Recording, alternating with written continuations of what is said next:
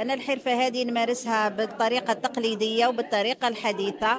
آه، درت التكوين في في مركز تكوين المهني حمام الدباغ واستفدت من القرض آه، المصغر 10 ملايين به شرينا المواد اللي نستعملوها.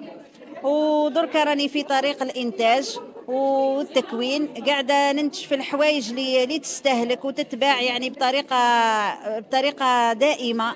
ما نخدمش الحاجة اللي تقعد لي عام وعامين نخدموا الحوايج اللي في الاستهلاك اللي تتباع وقاعدة نكون في الفئة الخاصة ذوي الاحتياجات الخاصة. حاولت أني ندمج ما بين الفخار الأصلي والتقليدي والعصري.